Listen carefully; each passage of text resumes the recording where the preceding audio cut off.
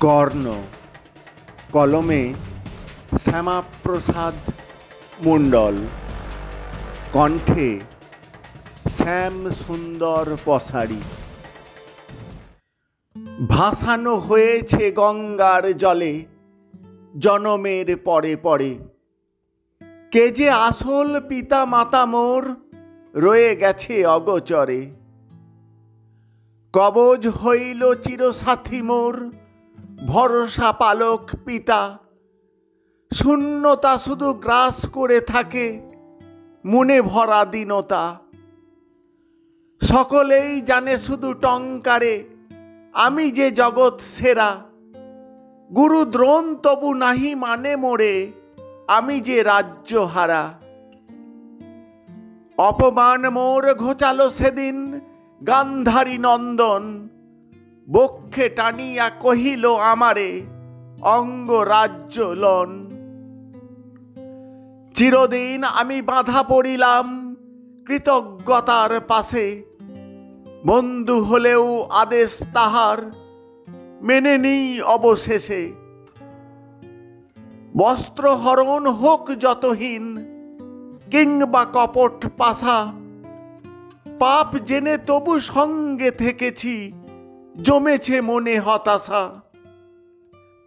বন্ধুরে মোর বোঝাতে চেয়েছি, নহে কোনো হীন কাজ। ব্যর্থ হয়েছি প্রতি পলে পলে, দোষের ভাগি যে আজ। আজীবন ধরে দান করে গেছি, রাখি নাই কোনো শর্ত। কোন অভিশাপে কুণ্ডল মোর অপরের করায়ত্ত। জন্মের পরে প্রতি পলে পলে খুঁজেছি যাহার কোর। আজ তারে দেখে রুধিব কেমনে গোপন অশ্রু মোর। জননী আমার এসেছে দুয়ারে, চেয়ে নিতে প্রাণ ভিক্ষা। সহদরগণ অক্ষত থাক, করিতে হইবে রক্ষা। হতবাক হয়ে জননীরে বলি পাঁচ সন্তানী রবে। অর্জুন কিবা কর্ণ মরিবে, একজন বেঁচে যাবে। দুঃখ যাহার চিরসাথী, হয় কর্ণ তাহার নাম। দান আর কথা তাহারি ভূষণ, হোক না সে বিধিবাম রথের চক্র বসিয়া গেলেও সুযোগ পান না বীর অন্যায় রণে হত হন তিনি, বিধাতা করেন স্থির।